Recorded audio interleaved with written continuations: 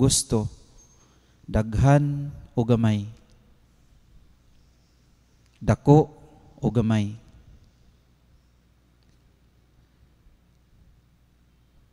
Sa atong pagkatawhanon usahay mas mo prefer gyud ta og dako.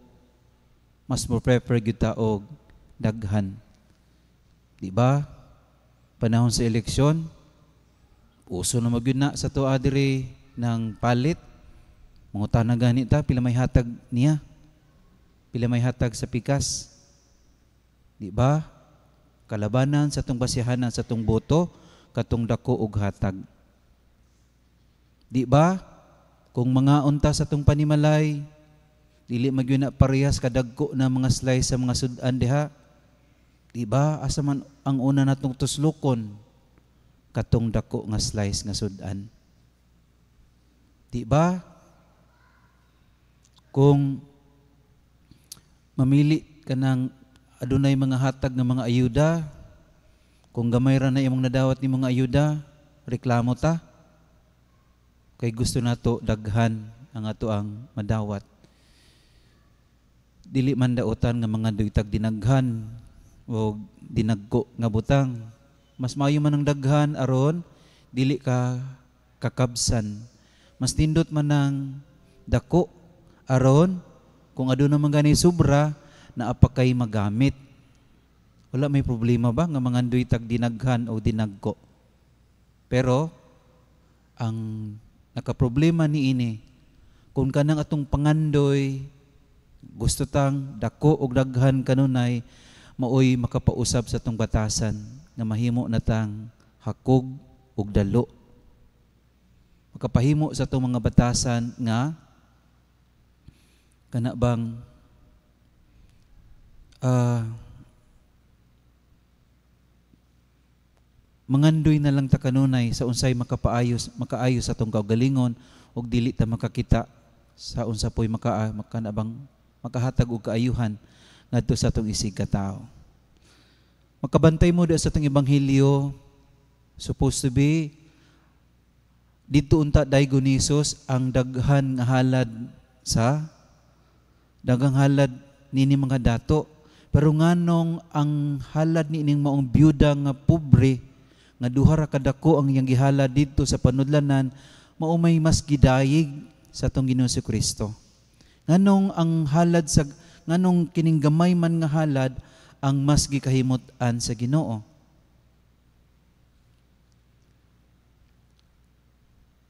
Siguro nakita ni Jesus nga ang maong halad sa maong byuda bisan unsa kagamay na pero para niya dako na to. Imagine duha ka dako, duha ka dinaryo, equivalent na na sa duha ka adlaw nga sweldo nila sa una. Nako na na. Kung kita karon mag 550 ta, 600, 1 na na kung kung equivalent ato, dako na to. No? Dako na to.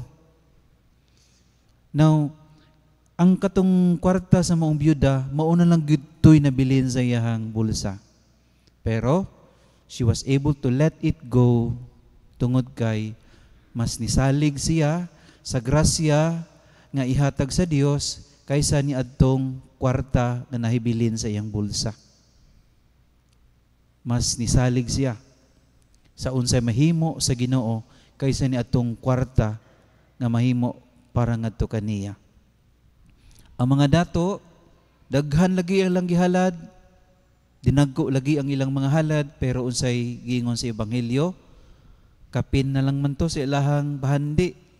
Sobra-sobra na lang man to sa ilang bulsa. Ang tinuod, ngang pangutanan ni Ana, makahalad ba baghapon sila kung gamay na lang ilang kwarta? Makahalad pa baghapon sila kung mao-mao na lang yun na ang ilang kwarta. Which is usually dili na to na mahimo. No? Manggihatagon ta in the sense tungod kay nanubra. Pero kung when we are asked of a thing nga kini na lang nabili nimo pero kinahanglan kang muhatag usahay mo balibad ta. Tungod kay lisod na to ang paghatag o paghalad kung maumao na lang na ang nabilin sa tong kwarta. Manang mas gidayig ni Isos ang maong halad sa maong pobre nga byuda tungod kay nakita niya ang kamatinod-anon sa intensyon sa paghalad nining maong byuda. Manang hagit ka nang dadon ko kamo sa pagpamalandong ni ining the quality of the act sa maong paghalad sa maong byuda. Mo nang gipili sa Ginoo kanunay kana bang naikalidad ang imong buhat na equality ang imong gihimo. Makabantay mo uh, sa mga nanglabay ng mga ebanghelyo, di ba ang kanunay nga pilion sa, gino, sa Ginoo katong adunay quality, di ba?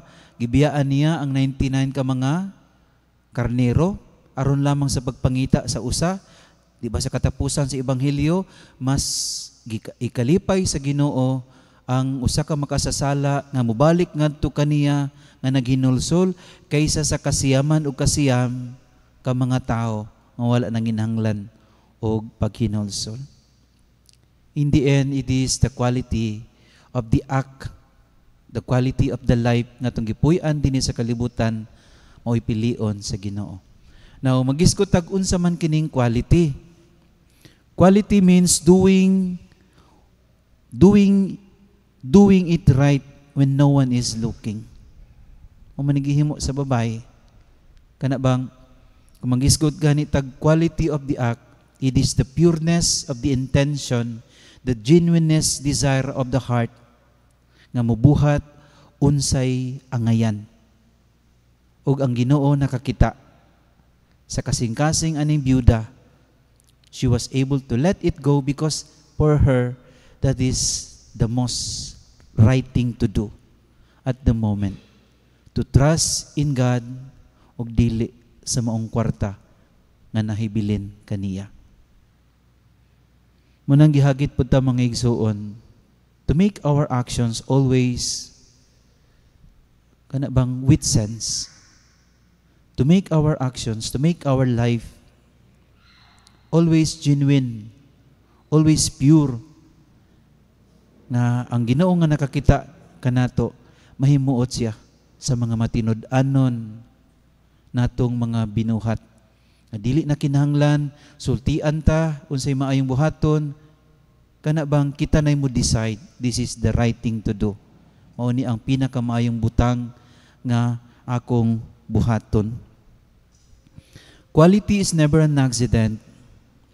It is always the result of I of high intention. When we do what is right, it is never an accident. It is an act with high intention. Kabulo ka, imo nang gipamalandungan. Sincere effort, agikan sa kahiladman sa imong kasing-kasing, imo nang gihimo. Intelligent, intelligent direction. Makabalo ka nga sa pagbuhat nimo niini makita nimo ang bunga sa maayo nimong binuhatan and skillful execution. Kana bang masayod ka no sa bunga sa imong binuhatan nga kini dinhi padulong nga sakto ang imong gihimo. It represents the wise choice of many alternatives. Sa kadaghan nimong mga choices, alternatives, nga imong pagapilion, but you were able to do what is the most right thing to do at the moment.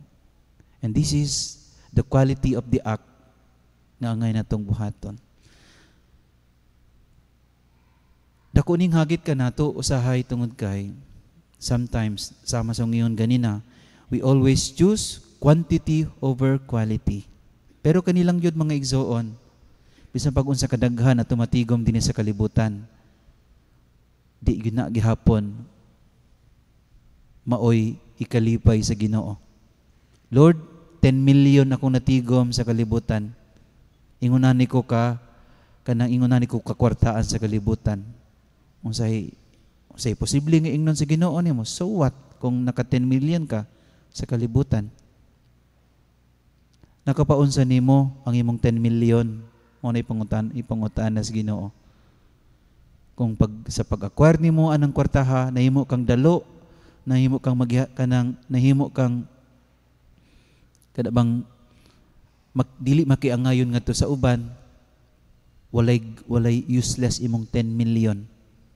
Kung wala ni nakapahimo nimong mayong tao Lord pari ko sa kalibutan, Lord doktor ko sa kalibutan, Lord attorney ko sa kalibutan, Lord maestro ko, Lord mais kana. So what? Kung mao ni yung achievement diri sa kalibutan, ang pangutana sa Ginoo, nakapaunsa nimo ang imong pagkapari. Nakapaunsa nimo ang imong pagkadoktor. Nakapaunsa nimo ang imong pagkaabogado. Nakapaunsa nimo ang imong nakabot sa kinabuhi. In the end, it is always quality over quantity nga pangitaon sa Ginoo nga ni kanato. Manang mga igsoon hagiton ko kamo kanunay no diya sa pagmamalandong nga kana bang makahimo ta kanunay sa unsay makapahimuot sa Ginoo og dili lamang unsay makapalipay nato. Makahimo tag mga butang